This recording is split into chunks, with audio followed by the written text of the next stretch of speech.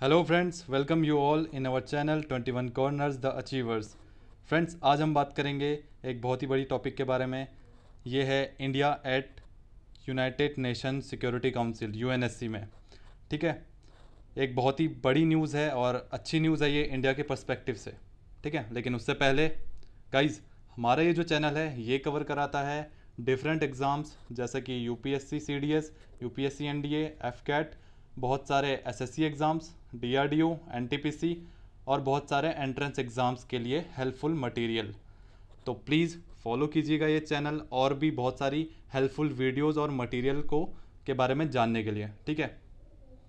सो so guys जानते हैं big story जो बेसिकली uh, क्या हुआ है?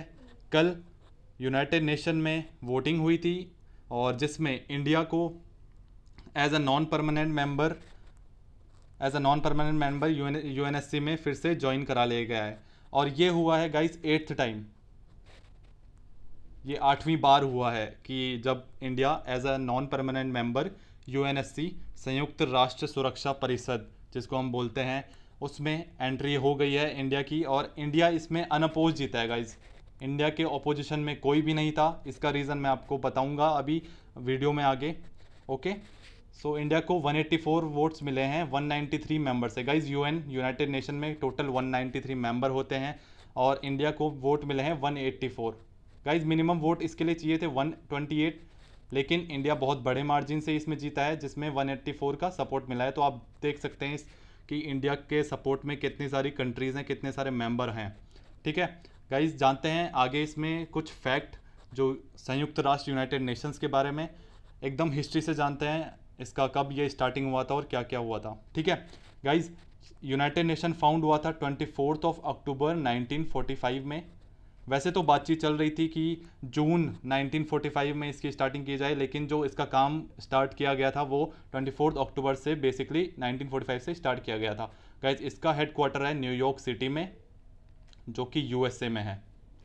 और प्रेजेंट करंट जो सेक्रेटरी जनरल हैं, इसके वो हैं एंटोनियो गुटेरेस गाइज़ बहुत बार एग्ज़ाम्स में, बहुत सारे एग्ज़ाम्स में पूछ लेते हैं, जैसे कि एफ़ एग्ज़ाम में कई बार पूछ लिया था कि सेक्रेटरी जनरल कौन है।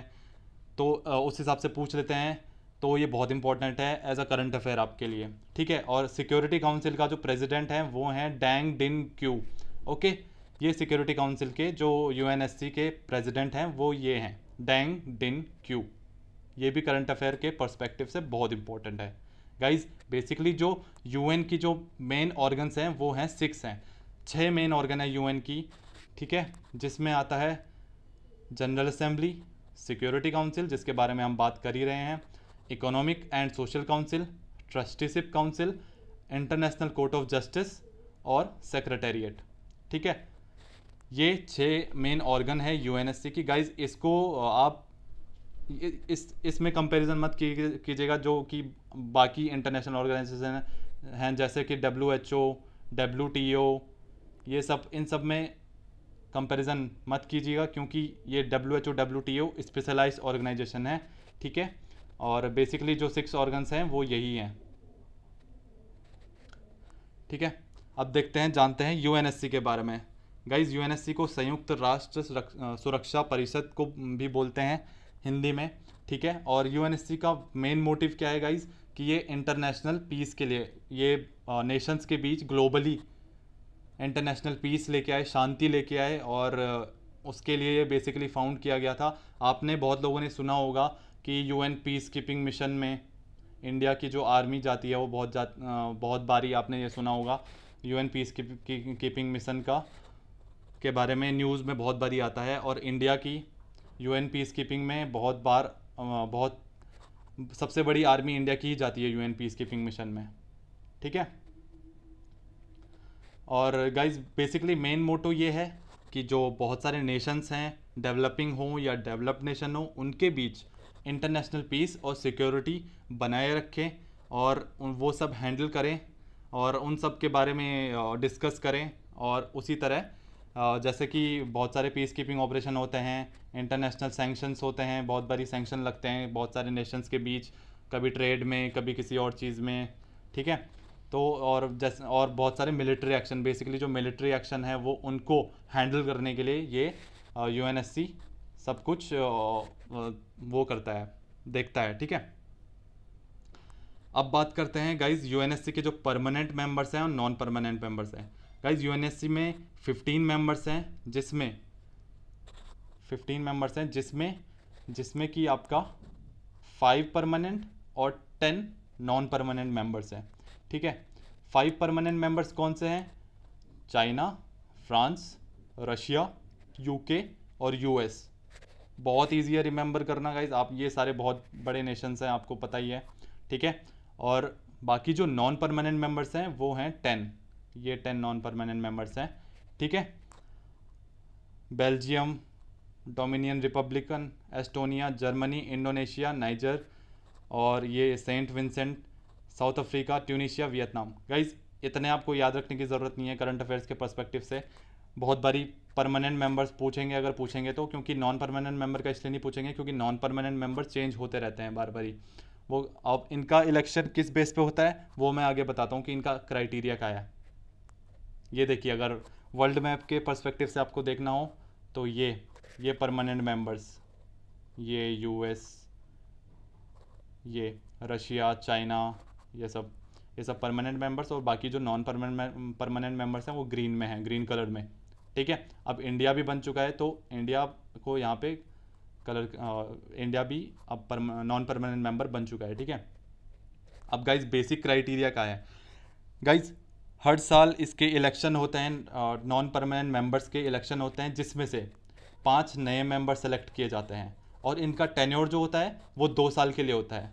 ठीक है? अब जैसे इंडिया को सेलेक्ट किया गया और इंडिया का टेन्योर स्टार्ट होगा June January one twenty twenty से।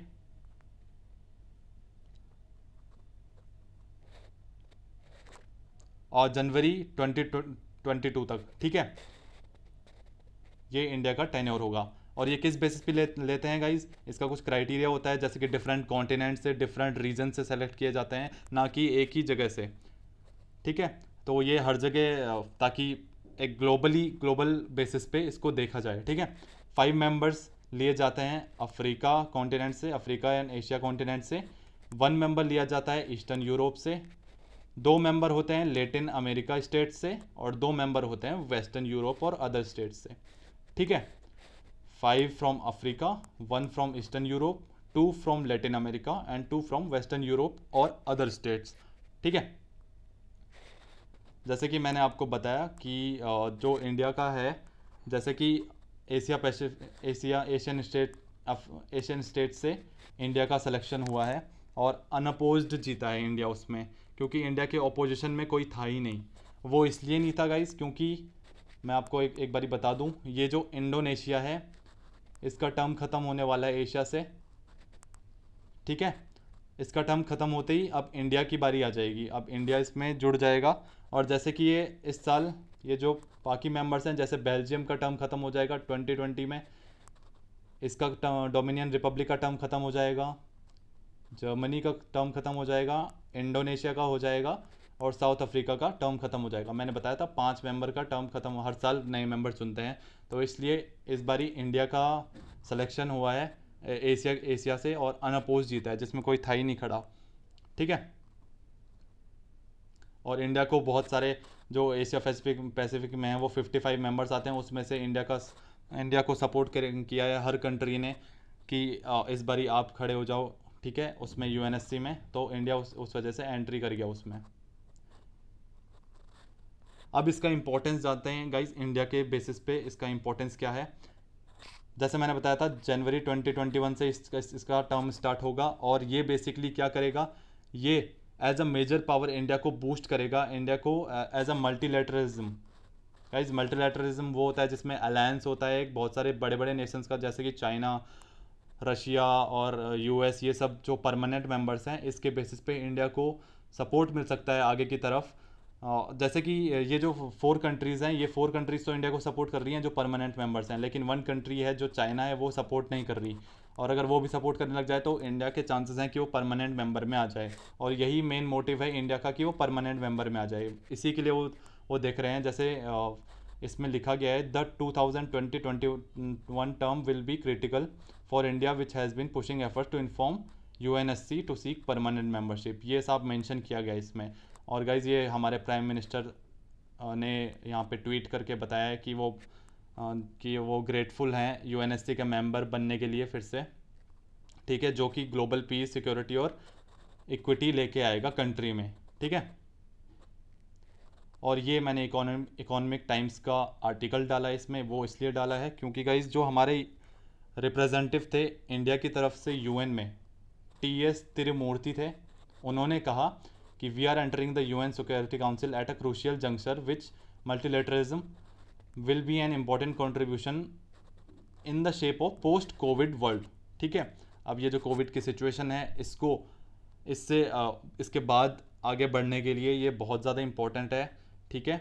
और ये बहुत ज़्यादा काम आएगा और उन्होंने ये भी कहा कि इंडिया की अप्रोच होगी फाइव एस को जानने के लिए। इस करंट अफेयर्स में ये, में भी पूछ सकते हैं बहुत सारे एग्ज़ाम्स में कि ये जो फाइव एस का जो अप्रोच है, ये क्या था यूएनएससी में? इस फाइव एस का अप्रोच था सम्मान, जिसे हम रिस्पेक्ट कहते हैं, संवाद डायलॉग सहयोग कोऑपरेशन शांति पीस और समृद्धि प्रोस्पेरिटी ठीक है? ये मैंने इधर मेंशन किया हुआ है इसका। सम्मान, संवाद, सहयोग, शांति और समृद्धि. गाइज़ मेन मोटिव यही होता है कि एकदम पूरे ग्लोबल वर्ल्ड में शांति बनाए रखें नेशंस के बीच तो रिलेशन अच्छे हों और यूएनएससी इसमें बहुत इंपॉर्टेंट रोल प्ले करता है, इसलिए इंडिया हमेशा कोशिश करती है कि यूएनएससी में वो परमानेंट मेंबर बनने के लिए देखे और परमानेंट मेंबर जल्दी से जल्दी बन जाए, अगर चाइना भी सपोर्ट करने लग जाए आगे। ठीक है, और इससे गाइज़ चाइना को बहुत हार्म भी हो सकता है, जैसे कि वो अभी बहुत बहुत सारे नेशंस को, जैसे पाकिस्तान को सपोर्ट करता है और और जैसे और भी नेशंस को सपोर्ट करता है अपने, खाली अपने ट्रेड को आगे बढ़ाने के लिए या अपने अपने बेनिफिट के लिए, ठीक है? तो ये हार्म कर सकता है फ्यूचर में चाइना को। इसलिए चाइना सपोर्ट नहीं करती इंडिया को परमानेंट मेंबर्स बनने के लिए, क्योंकि उसको ये डर है कि कहीं उन्हें खुद को हार्म ना हो जाए, ठीक है?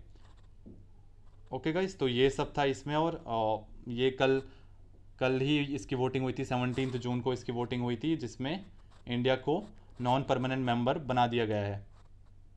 Okay so thank you guys ये था आज का हमारा lecture please like share and subscribe twenty one corners for more basic highlighted issue और helpful study material okay please cooperate with us thank you